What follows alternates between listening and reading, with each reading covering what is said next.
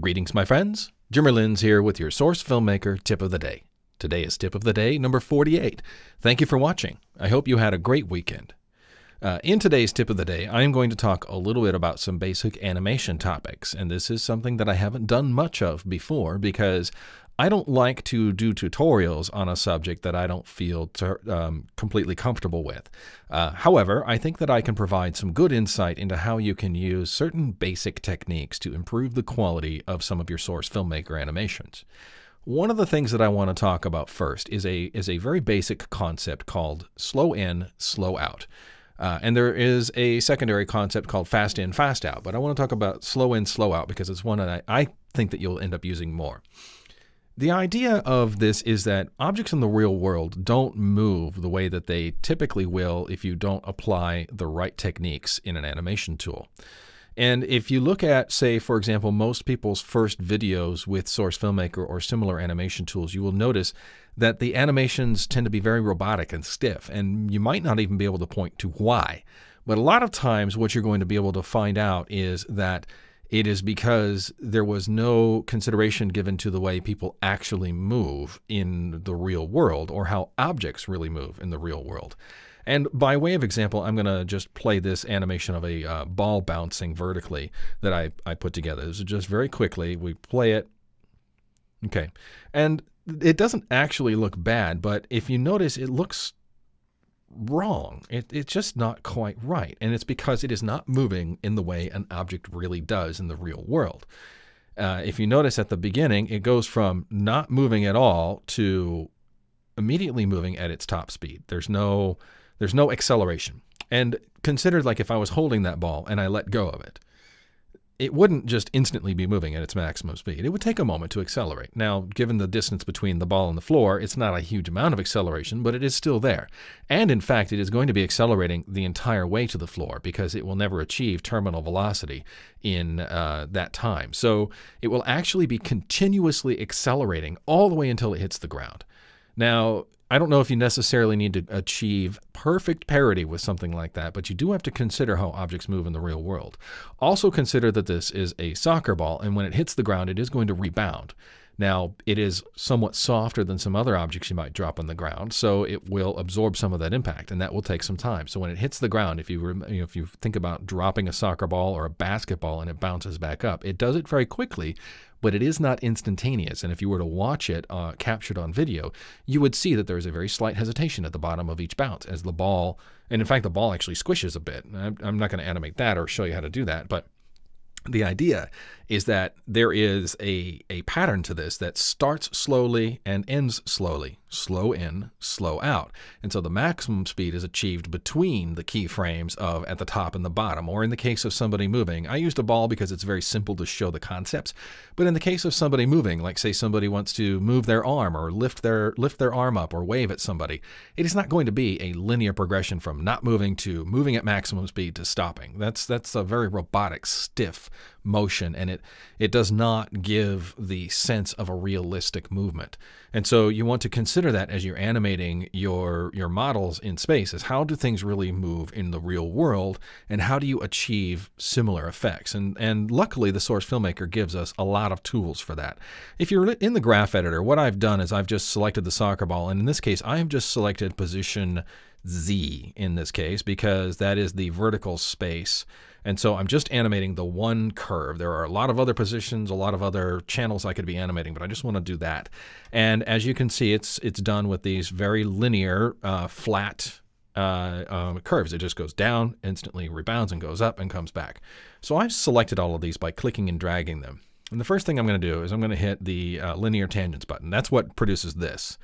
Next, let's see what happens if we try flat tangents. Now, for, for reference, these little lines here, these beige lines that you see on each of these keyframe nodes, those are tangents. And they affect, if I grab one, they affect how the curve is applied. Okay, so if I just grab a bunch of keyframes and say I want flat tangents, the, the tangents are flat, like so. They are flat across, and there's no, uh, um, you know, there's no, it's an equal distribution of weight applied to both sides of the curve. And now let's see what happens when we play this. Okay, that's a bit better when you look at it. There's It's not perfect, and it it has other problems than it did before, but it certainly looks better than it did. Now let's see what we do if we get spline tangents. And spline tangents tend to work a little bit differently. If you notice, these ones here tend to be a little flatter, but as we go here, they are uh, tipped a little bit. And this is because the weights of the tangents are applied, or the orientation of the tangent is applied based on where the next node is, so it tends to, to tip in favor of that. It's a very simplistic explanation, but spline tangents produce a slightly different effect than uh, a flat tangent. And if we now look at it, that's I think that's even better. It's definitely not perfect, but it is better. Now let's have some fun with things like step tangents. And this is obviously not going to be right. If we just look at this, it just teleports it back and forth, which is interesting, but not really what we want. So the best effect that we've gotten so far has been with these spline tangents. And uh, again, it's not perfect. And the reason is because it's still not quite achieving the effect that I want. And that is, it just doesn't seem quite right. And I think one of the things, it's hesitating too long at the top of the bounce, first off. So, how do I affect that? If I want to make this still have a slight hesitation as it goes to the top, then turns around and comes back down, I need to adjust the weight of these tangents. And I can do that by clicking and dragging with the control, or excuse me, not with the control, clicking and dragging with the middle mouse button, which will affect the weight of the tangent. Okay.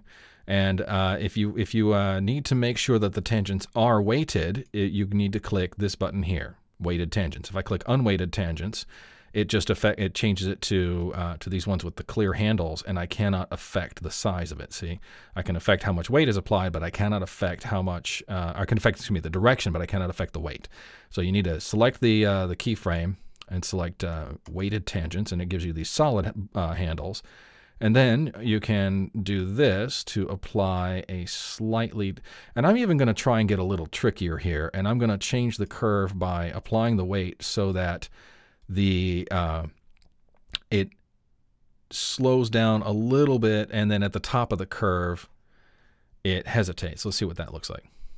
Uh, you know that I think that looks a lot better. Now I am not going to spend the next 30 minutes going through every niggling little detail of how to make this look perfect, but uh, I did want to show you the concepts of slow in and slow out and how it makes a profound difference in the way something might be perceived. If you do this, with these linear tangents, you get that very mechanical look, and if you use uh, spline tangents, you get a, a, much a much more organic look. But you're still going to need to adjust it. And you can also do things like if you have these weighted tangents, you'll notice that they tend to move together. And if you press the Control key and then click and drag, you can break them apart so you can apply weights to them separately. So you can produce effects like this if you want, which which would be a little weird, but you know you get the idea. Is that you can you can um, do it one you can have the the tangents move together, or you can have the tangents move independently if you use the control and drag it around the idea and uh, is to to give a realistic look to your animations by taking into account how objects move in the real world. And again, that's because they don't start at their maximum acceleration and then instantly rebound. If you're dropping a ball, it will slowly it will accelerate and then it will continue to accelerate until it hits the ground then it, a lot of that force will be absorbed and there will be a moment of, of impact. And for harder objects, that's going to be a shorter duration of time. It's going to be a sharper curve. You know, think about dropping a croquet ball versus dropping a beach ball. The beach ball is going to take longer at the bottom of the bounce. And uh, by just giving some thought to how an object would really move in the real world, you can definitely apply some really nice effects to improve the the verisimilitude, the the accuracy and realism of your source filmmaker animations. And uh, again, it doesn't have to be perfect. It just has to be good enough to fool the human eye. And that is something that you will find there is a good enough state you'll get to. And as you get better, you will you will be able to apply these effects much more easily uh, to great effect. At least that's been my experience, and, and I'm learning all the time. So I hope that this has been useful. That has been excuse me, your source filmmaker tip of the day number 48 slow in and slow out. Uh, and I look forward to seeing your animations. I uh, am Jimer Lins. I hope this was useful, and I will see you tomorrow. In the meantime, enjoy using Source Filmmaker.